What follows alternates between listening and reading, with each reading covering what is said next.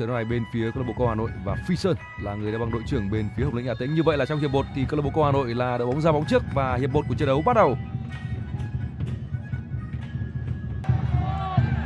Chúng ta cùng xem quả đá phạt này Quang Hải không vào. Thành Tùng đã đẩy bóng ra sau cú dứt điểm của Quang Hải. Vẫn còn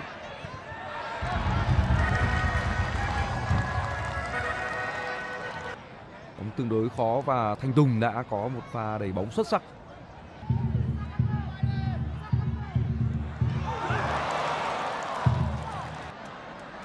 Cú đá bóng đã đi đập trúng sang ngang. Hai cú dứt điểm nguy hiểm của Quang Hải. May mắn đã đứng về phía khung thành của Thanh Tùng.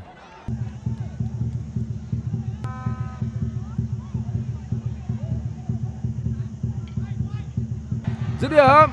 Không vào. Thêm một lần nữa là phản xạ tốt tới từ thanh tùng. Và cứu bóng này của thanh tùng đã nhận những tràng vỗ tay dù trước đó cũng phải mất tới hai nhịp. Thanh tùng mới có thể ôm dính bóng.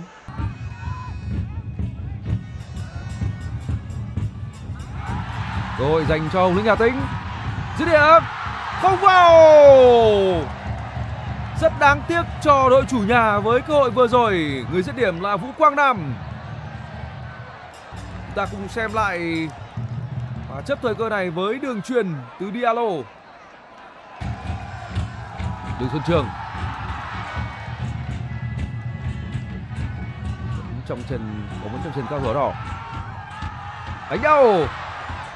Dứt điểm không vào. Rất đáng tiếc.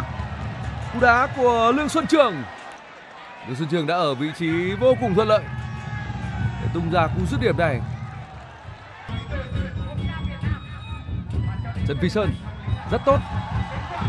Đến bóng bên cánh trái. Vẫn là ca thủ Hồng Linh Hà Tĩnh. Đưa bóng vào. Dứt điểm. Và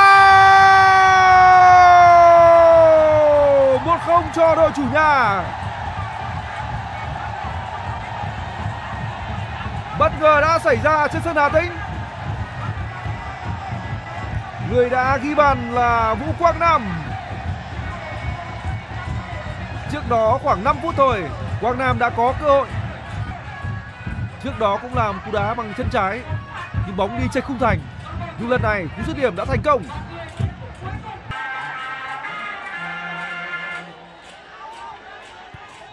Đường phất dài lên trên, Không có gì nguy hiểm cả.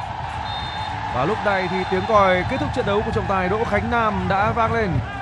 1-0 và chiến thắng dành cho cao thủ Hồng Lĩnh Hà Tĩnh. Vừa thắng duyết được ghi do công của tiền đạo số 18 Vũ Quang Nam. Còn bây giờ xin chào và hẹn gặp lại. Trải nghiệm thế giới thể thao không giới hạn cùng FPT Play.